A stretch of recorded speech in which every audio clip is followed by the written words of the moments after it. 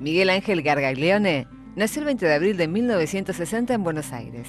Miguel Ángel es agrimensor, hincha de San Lorenzo e intendente de San Cayetano desde 2011.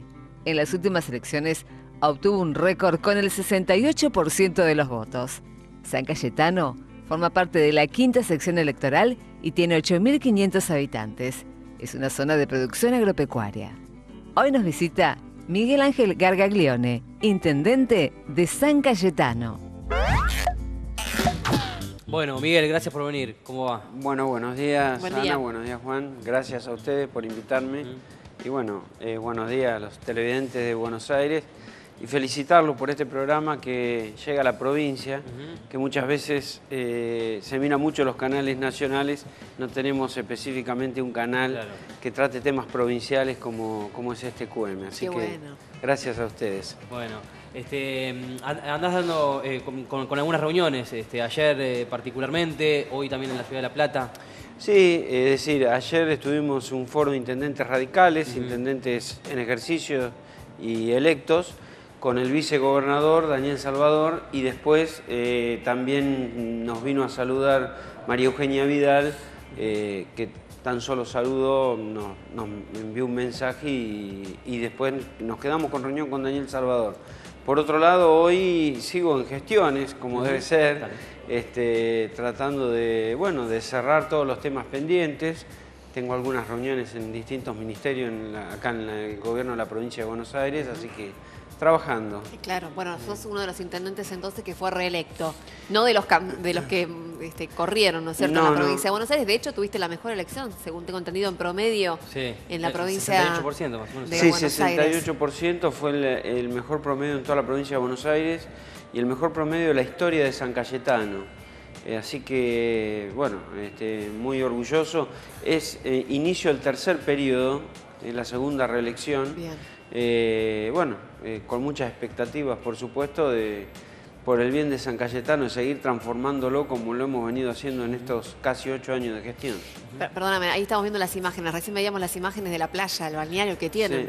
sí. sí, Hermoso. eh, es una costa, San Cayetano tiene un frente de costa de algo más de 20 kilómetros y tiene una villa ubicada medio en el centro de, de esa costa con 200 unidades habitacionales, realmente una villa hermosa, con, bueno, todo naturaleza, tranquilidad, este, pocas, eh, poca- pocas ciudades o pocas villas tienen todavía esta característica, ¿no? Claro.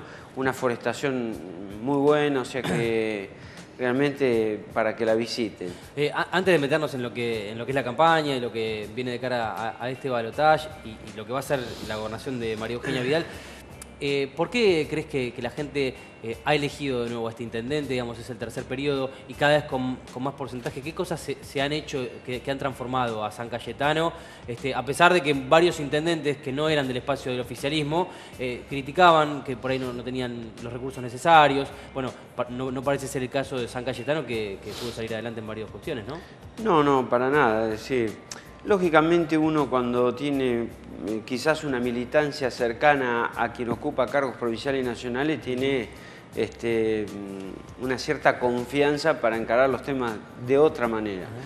Eh, en el sentido de esa confianza, nada más. Pero después vos los temas los, los tenés que encarar con total seriedad, tenés que traer un proyecto bien hecho, acorde a una demanda, y demostrarle al funcionario provincial o nacional que la necesidad existe, que el municipio no, puede, no lo puede hacer frente.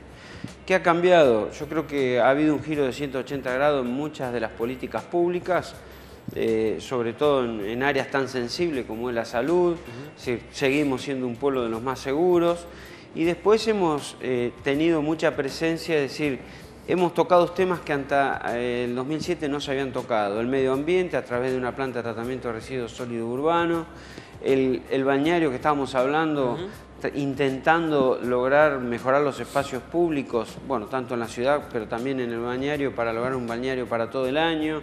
Es decir, eh, creo que el municipio ha tenido una transformación, ha dejado la lógica de ser un municipio que pagaba sueldos y proveedores para brindar ciertos servicios, para pasar a ser un municipio que brinda muchos más servicios de mejor calidad, que paga sueldo y proveedores en tiempo y forma, pero a su vez invierte para decir que tenemos un municipio, para lograr un municipio moderno, que sea eficiente en todas las tareas que realiza, y hace obra pública con recursos propios.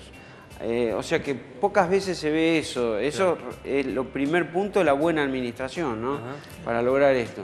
Después las gestiones que han logrado sus frutos, con el respeto que me he manejado con la provincia y la nación, como lo he hecho estos ocho años, o sea, eh, yo creo que eso ah, ha tenido su, rédito político en el sentido que fuimos escuchados.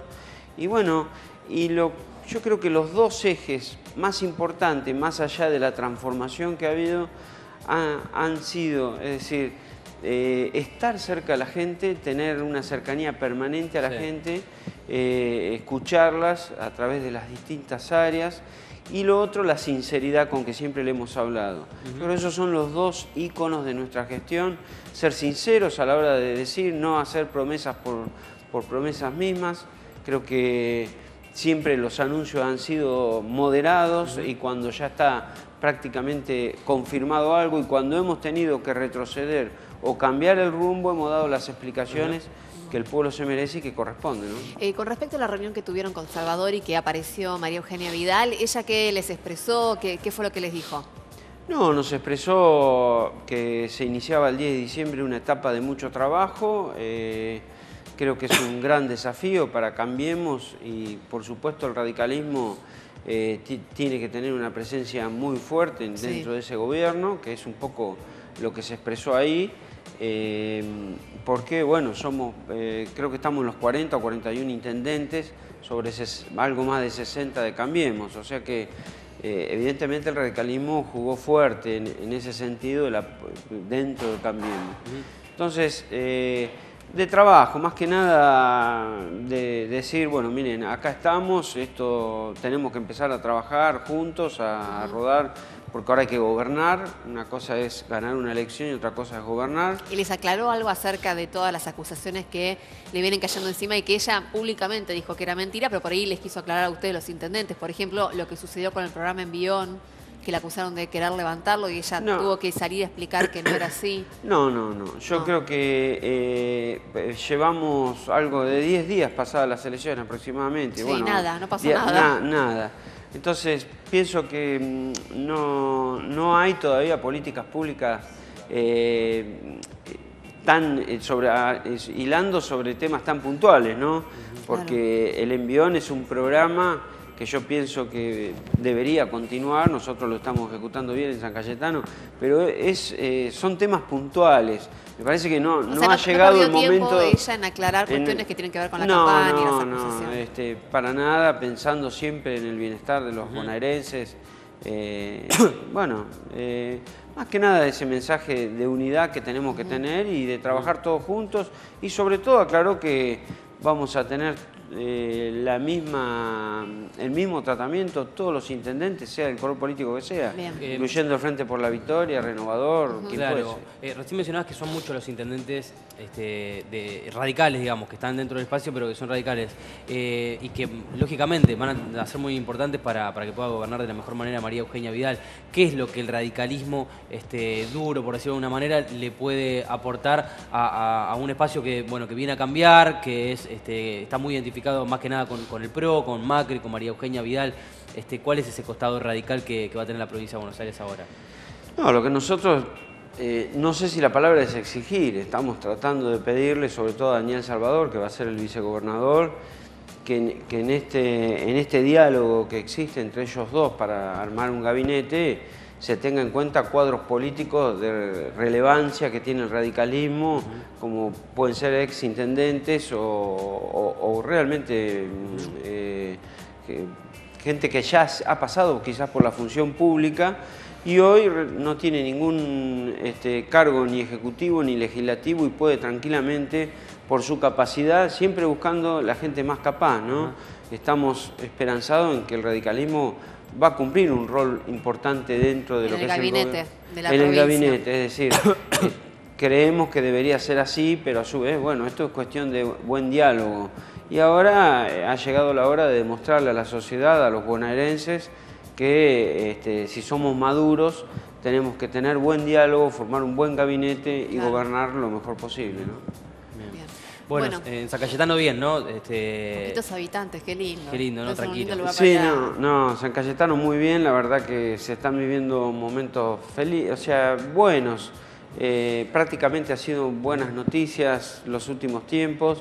Y desde acá yo le quiero mandar un saludo a todos los sancayetanenses que, Claro. bueno, la- eh, la- muchos estarán viendo este programa y por supuesto que eh, esperanzados en que la nueva gestión hay que trabajar, o sea, seguir gestionando, seguir trabajando, seguir fijando políticas públicas que realmente mejoren la calidad de vida de nuestros vecinos y estar cerca de las autoridades provinciales y nacionales. Así que ese es el Bien. objetivo. Bueno, vamos a someterlo al ping-pong. Llegó ¿o el no? momento del ping-pong, sí. Este, nuestros panelistas, si hay deportes, hay cultura espectáculos, hay tecnología, te van a hacer una preguntita a cada uno, a ver cómo te mueves en esas áreas. Dale. Nico. Bueno, Miguel Ángel, eh, respecto a lo deportivo, quiero aprovechar tu fanatismo por San Lorenzo y te voy a hacer dos preguntas cortitas para que la gente de San Cayetano conozca. Eh, su intendente, a la hora de jugar al fútbol, no sé si hoy en día estás entrenado o eh, durante algunos años, ah, viene para, para atrás, dicen acá. Bueno, eh, ¿es más de meter como el Pichi Mercier o más del juego como Ortigosa? No, de como Ortigosa. Ah, bueno.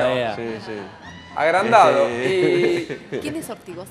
Ortigosa es, No de eh, volantes centrales eh, santenses. eh, Lamentablemente no tengo el estado físico, ¿no? Pero el- mi referente sería Ortigosa. bien, más lírico el intendente. Sí. Claro. Y por el otro lado, eh, ¿cómo le cayó esta noticia de que Bausa no va a ser más el técnico? Un técnico que lo sacó por primera vez campeón de la Copa Libertadores de América.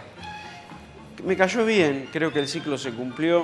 Este, tenemos mucho respeto por Bausa, porque realmente hemos logrado lo que nunca se logró en La la, historia de San Libertadores. Lorenzo. ¿Eh? La Libertadores, ni más ni La menos. Libertadores, pero los ciclos a veces se cumplen y, e inclusive creo que eh, tiene que haber una renovación del plantel y quizás Bausa, con la afinidad que ha tenido con este, con este plantel que le han dado tanto a San Lorenzo, no sea el hombre indicado para hacerlo. Muy bien. Yo me voy a meter un poquito con el terreno cultural y de espectáculos también, para que le cuente al resto de la provincia, que por ahí no conoce San Cayetano, cuál es el evento más representativo que tiene el lugar. Puede ser eh, este, un evento netamente cultural ligado a algún lugar geográfico o no, o una fiesta. Y para su próxima gestión, si tiene pensado modificar algo o, o algo que le gustaría hacer en torno a esta materia. Bueno, con relación a la cultura, yo le- les quiero decir que San Cayetano, eh, eh, una de las transformaciones fue precisamente el área cultural. Hoy circulan por los pasillos de educación y cultura más del 10% de la población, hay alrededor de 900 alumnos y estamos llevando adelante un centro cultural, una obra de 1.300 metros cubiertos realmente eh, maravillosa, que viene a complementar este, lo que es el Teatro Milagros de la Vega y la Casa de la Cultura, como se llama tradicionalmente. Eh, el gran evento es el 7 de agosto, que es el día de San Cayetano, el santo patrono. Claro.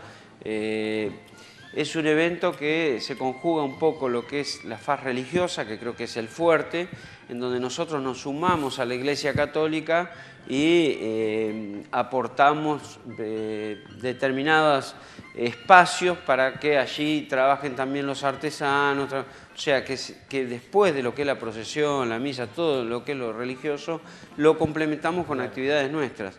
Y además se apoya y mucho a todo lo que son las fiestas tradicionalistas, es decir, de instituciones como este, personas que, que- o las escuelas que organizan fiestas gauchas, el Fortín Gaucho de San Cayetano, o sea que estamos en, eh, trabajando muy fuertemente con las instituciones en ese tipo de eventos. Quizás eh, más adelante pueda haber una fiesta puntualmente vinculada con lo que es nuestro ícono de San Cayetano, que puede ser el trigo. San Cayetano Claro. era conocido como la tierra del buen trigo. Mirá, bueno, ahí Una fiesta en... Intendente, ¿qué tal? Buen día. Buen día. ¿Cómo te llevas con las redes sociales? Mal. No, no, no sos un usuario, pero la municipalidad eh, Sí. se comunica, es un canal de comunicación No, con por los supuesto, no, no. Yo hablo en mi faz personal. eh, La municipalidad, mm, por supuesto que inclusive todos mis funcionarios manejan mucho mejor que yo las redes sociales. Eh, bueno, me dedico más a leer y a pensar. Y quizás este, cosa que debo empezar a, a tenerlo en cuenta porque es una herramienta comunicacional Sí. muy buena. Muy bien. Bueno, Hasta ahí llegó, ¿no? Hasta ahí El llegó el ping-pong. ¿eh? Este, bueno, saludos a toda la gente de San Cayetano. Miri, gracias un beso por grande. Bueno, gracias a ustedes. Realmente que San Cayetano hoy esté en este canal es un orgullo para mí. No es Gargaglione, sino todo San Cayetano que, que está presente, que empieza a tener presencia en la región, en la provincia y en la nación. Este, invito para que lo visiten, para que visiten sus playas. Me la gustó, Villa la imagen de la playa me gustó, hay poca gente, está Sí. bueno eso. Sí, para sí. tranqui, sí, sí. Es muy tranquilo, sobre todo para las, este, los vecinos de las grandes ciudades. Eh, bueno, tiene esa Está bueno. característica tranquilidad. Así que gracias Ana y gracias Juan por invitarme. Gracias a vos y gracias por la puntualidad. Sí, Porque no nos pasa bueno. con todos. No pasa así muy que, seguido, claro, no. por eso hay que destacarlo cuando vienen temprano. No, Bueno, gracias.